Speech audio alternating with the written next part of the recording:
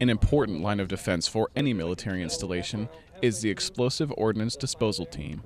The 718th EOD Company at U.S. Army Garrison Humphreys held its annual competition designed to put its soldiers to the test and to see who will represent their unit at a Pacific wide competition. The soldiers are expected to run approximately 10 explosive ordnance disposal lanes, and on each lane is designed to test the overall knowledge and experience of the team leader.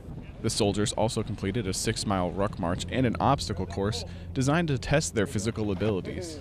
During the obstacle course portion, I was just pretty much trying to stay uh, safe as possible. Uh, definitely have bruises all over my body from that, but it was a fun time. We had a good time.